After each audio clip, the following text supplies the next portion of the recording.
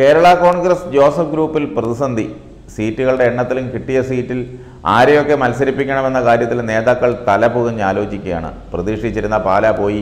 P C George വന്നാൽ പൂഞ്ഞാർ നഷ്ടപ്പെടുമോ? ഏറ്റുമാനൂരും ചങ്ങനാശ്ശേരിയും കിട്ടുമോ?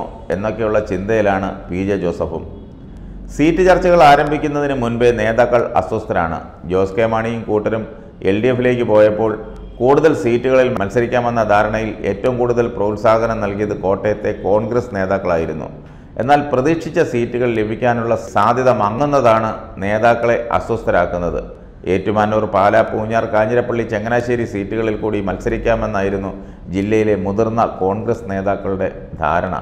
ഇതിനായി ഗ്രൗണ്ട് വർക്ക് ആരംഭിക്കുകയും ചെയ്തിരുന്നു. വർഷങ്ങളായി ജില്ലയിൽ കേരള കോൺഗ്രസ് പുലർത്തി വന്ന മേധാവിത്വം അവസാനിച്ചതിന്റെ സന്തോഷവും നേതാക്കൾക്കുണ്ടായിരുന്നു.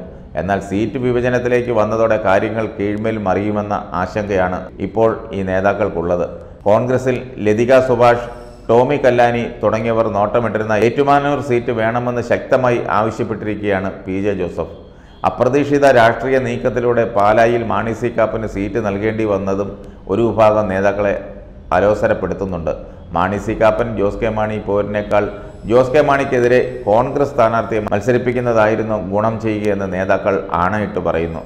പൂഞ്ഞാർ സീറ്റ് കോൺഗ്രസ് ഏറ്റെടുക്കുമെന്നും ടോമി കല്ലാനി മത്സരിക്കുമെന്നും ഏറെക്കുറെ ഉറപ്പിച്ചിരുന്നു. എന്നാൽ P C George U D F പ്രവേശനം കാത്തു നിൽക്കുന്നതോടെ ഇവിടെയും അനിശ്ചിതത്വത്തിലായി. പ്രാദേശിക കോൺഗ്രസ് മുസ്ലിം നേതൃത്വത്തിന്റെ അതൃപ്തി അവഗണിച്ച് ജോർജിനെ മുന്നണിയിലെടുത്താലും പൂഞ്ഞാർ സീറ്റ് നൽകാനാവില്ലെന്നാണ് കോൺഗ്രസ് നേതാക്കൾ പറയുന്നത്. കെ സി ജോസഫ് ഉൾപ്പെടെയുള്ള മുതിർന്ന നേതാക്കൾ നോട്ടമിട്ടിരുന്ന ചങ്ങനാശ്ശേരിയുടെ കാര്യത്തിലും വിട്ടുവീഴ്ചയ്ക്കില്ലെന്ന ജോസഫ് വിഭാഗത്തിന്റെ നിലപാട് കോൺഗ്രസ് നേതൃത്വത്തെ ചൊടിപ്പിച്ചിട്ടുണ്ട്. സി എഫ് തോമസ് പതിറ്റാണ്ടുകൾ മത്സരിച്ച സീറ്റായതിനാൽ വൈകാരികമായി ഏറെ ബന്ധമുണ്ടെന്നും വിട്ടുകൊടുക്കാനാകില്ലെന്നുമാണ് ജോസഫ് വിഭാഗത്തിന്റെ നിലപാട്. എന്നാൽ അവസാന നിമിഷം സമ്മർദ്ദത്തിലൂടെ സീറ്റ് നേടിയെടുക്കാൻ കഴിയുമെന്നാണ് കോൺഗ്രസ് നേതാക്കളുടെ വിശ്വാസം. കാഞ്ഞിരപ്പള്ളി സീറ്റും വേണമെന്ന് ജോസഫ് വിഭാഗം ആവശ്യപ്പെടുന്നുണ്ടെങ്കിലും ഇവിടെ കോൺഗ്രസ് തന്നെ മത്സരിക്കാനാണ് സാധ്യത. എന്നാൽ ഈ സീറ്റിലെ സ്ഥാനാർത്ഥി നിർണയം ഏറ്റുമാനൂർ പൂഞ്ഞാർ സീറ്റിന്റെ കാര്യത്തിൽ തീരുമാനമായ ശേഷമേ ഉണ്ടാവൂ എന്നാണ് സൂചന. യു ഡി എഫിലെ സീറ്റ് ചർച്ചകൾ ആരംഭിക്കുന്നതോടെ തർക്കം കൂടുതൽ സജീവമാകും. മാത്രമല്ല യു ഡി എഫിലേക്ക് വരുന്ന മറ്റ് പാർട്ടികൾക്കും കോട്ടയത്ത് സീറ്റുകൾ നൽകണം. കാപ്പൻ ചോദിക്കുന്നത് മൂന്ന് സീറ്റുകളാണ്. ജോർജ് തോമസിന്റെ ജനതാദൾ ചോദിക്കുന്നത് മൂന്ന് സീറ്റാണ്.